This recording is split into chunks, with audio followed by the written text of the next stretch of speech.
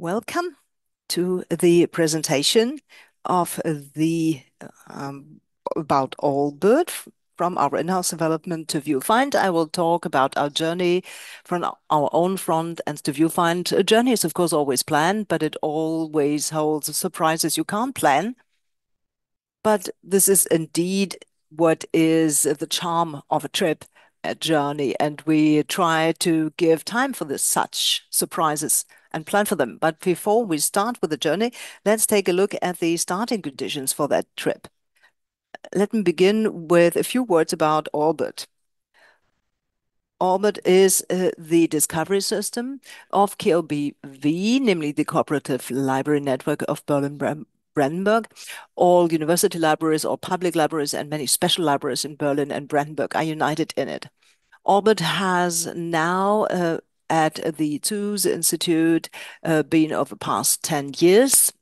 It's based on a concept of the library of uh, the German Research Center for Geosciences in Potsdam, which was also the first pilot development partner for Albert. Albert is a lean solution for all libraries that want to enable their users to search their collections quickly and effectively, and that not just in their local holdings. With Albert, also heterogeneous and uh, specialized data from different data sources can be searched and can also be pooled on a shared uh, search interface. So it's about integrating various contents from OPAC's uh, subject and institutional repositories, uh, national licensed e-books and articles, journal feeds, and research data. Albert realizes individual search indices that are adapted to the requirements of the respective user and institution. Now, let's take a look at a somewhat more technical version of that. Albert has a modularized backend for data administration. It's Java-based and a Solr cloud as a search index. A front end that had so far been proprietary based on Java and uh, running on Tomcat.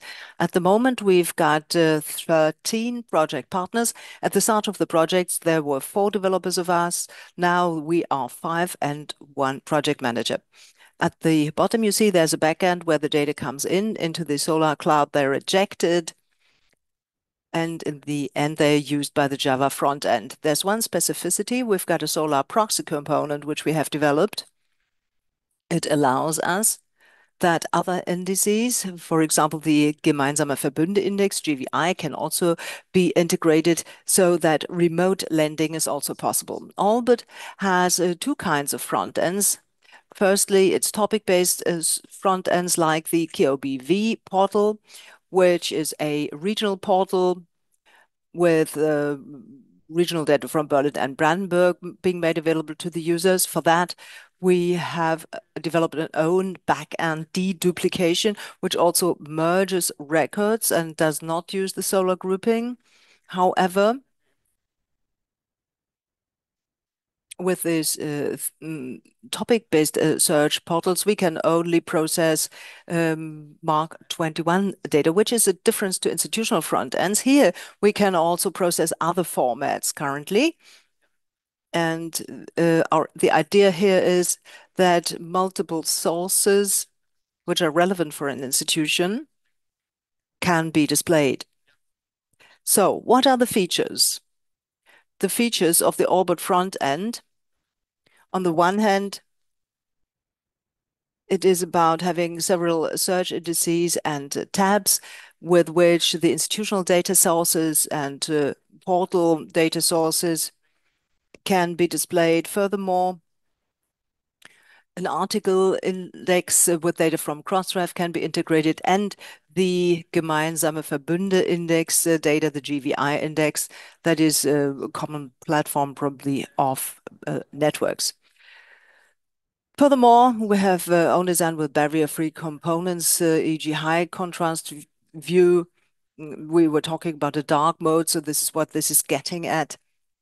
Also, different uh, font sizes can be displayed.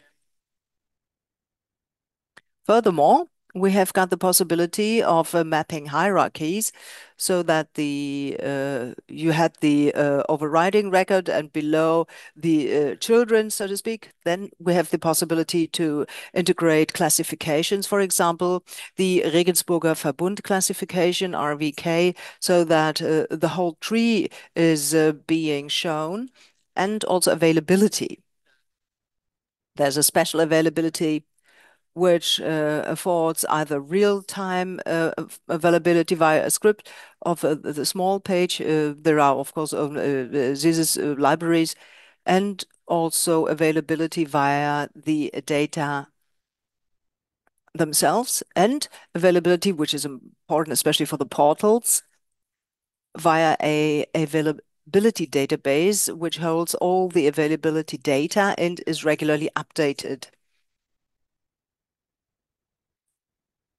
What, um, however, moves us forward on this journey to VuFind, uh, uh, the users of the Albert front end uh, the OPAC is channeled to the library, and in OPAC, the administrative processes and the login can be carried out to order certain things. However, there was a rupture for the users who basically had completed a search in our portal and uh, now are forwarded to a second portal in order to uh, order the item. And here, the account functionality development of Albert starts. We call this project Albertiko. It will provide Brandenburg's uh, university and college libraries, which it's the project is with these.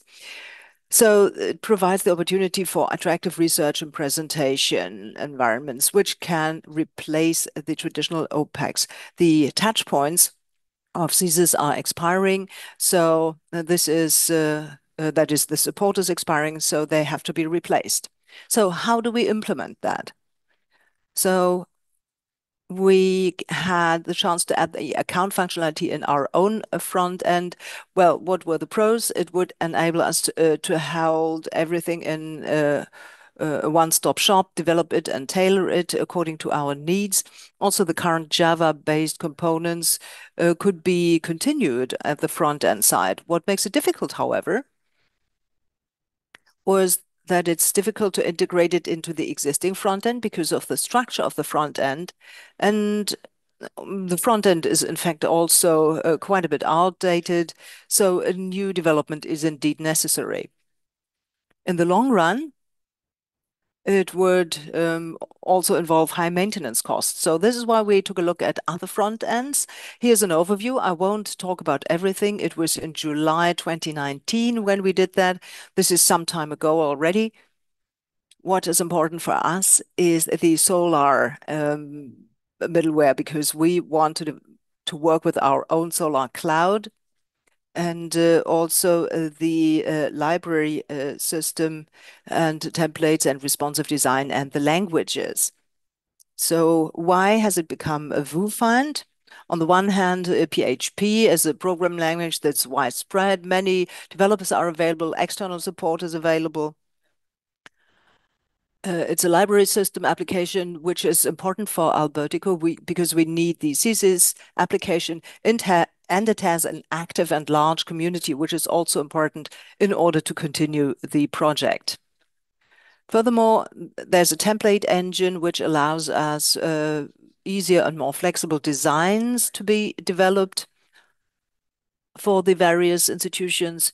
And additionally, it's also compliant with the General Data Protection Regulation. Now, here's an overview of the modifications which were which are necessary for Albertiko as we see it. On the one hand, the account functionality for SISIS.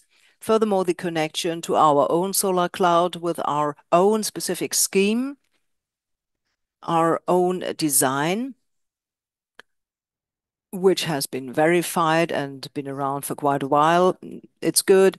So we would like to um, copy it, and also the integration of the multiple search indices as tabs, and also availability for SISIS. For the modification, that is for the account functionality for SISIS, The SISIS systems are hosted by the Bavarian Library Network, and they made uh, uh, an interface available uh, to us via NCIP, which is also uh, integrated. So we had to adapt that a bit in order to add uh, more um, cells for the account view. This was a demand, and also two libraries and uh, the fetching place to be displayed for the user and make it selectable, and also adjustments for the preliminary comment and for pre-ordering. However, we had uh, to um, had an extension of our database. Let's see how we handle that in future. So the modifications for the Solr Cloud here, we didn't put up a direct connection to the Solr Cloud because uh, VuFind can only indicate a, a specific uh, um, front end. So we thought uh, about using our Solr proxy. We had a Solr cloud interfaces, so it works with the so we can at first distribute uh, the load. And if uh, there is uh, one um, front-end processor off, we can also have support. It also allows us to manipulate questions and answers. In VuFind, we have developed a record driver for that, which uh, gets to terms with the own Solr Cloud scheme and also a record driver uh, for the uh, shared library index. And also we added a few fields for processing. We put that into VuFind subsequently for example, on the left-hand side, concatenated. And we also have the possibility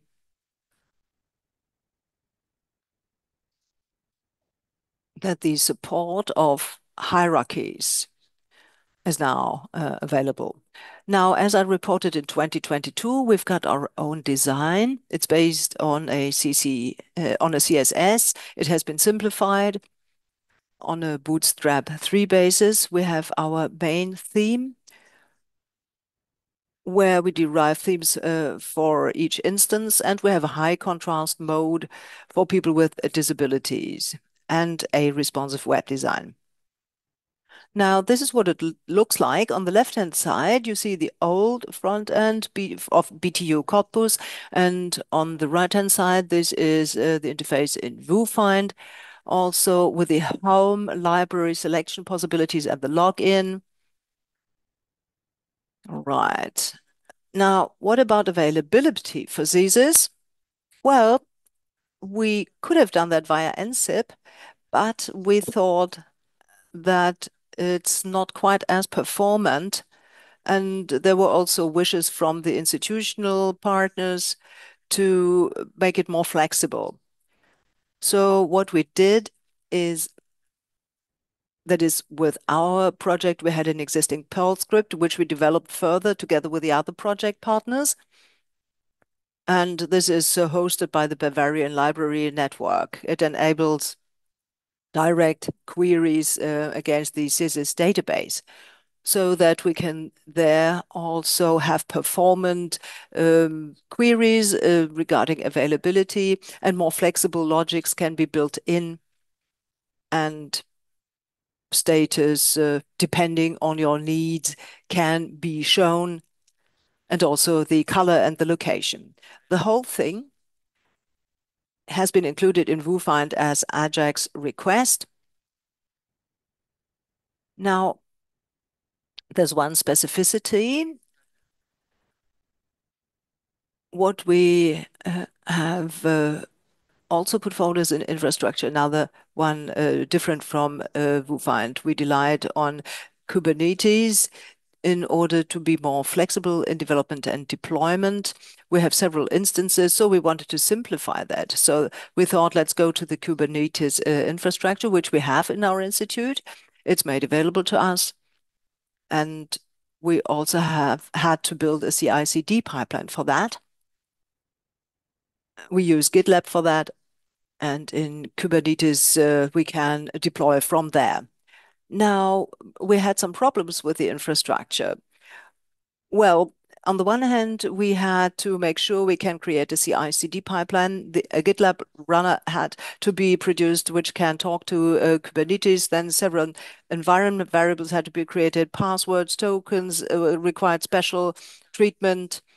Also, external resources had to be uh, integrated, uh, uh, including um, PDFs as content list, the logging and monitoring. So it's a lot about log aggregation when there are several instances. That is, if you have, if you want to have several containers run for one instance, and then monitoring with Prometheus and display in Grafana.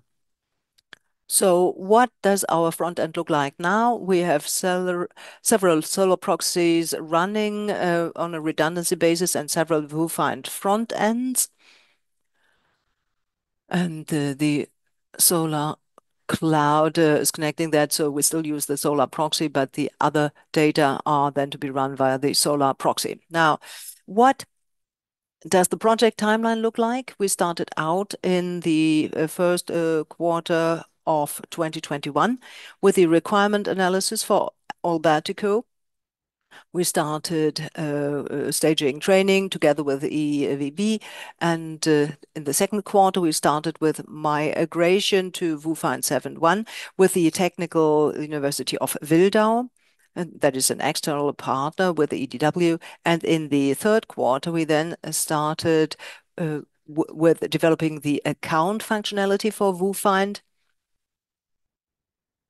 and uh, the migration of uh, the uh, Cottbus, Potsdam, and Viadrina universities were partners. In the fourth quarter, we started locally to set up a development environment based on CI/CD based and implemented on Docker and GitLab, a prototype development environment. In the second quarter of 2022, a Kubernetes training was staged internally because we have to implement that ourselves and didn't have any additional mm, assistance. Furthermore, we had a project completion with EWW, and they took over the project and uh, did further developments of the instances until their features and wishes had been included. Then there was a big gap in the second quarter of 2023.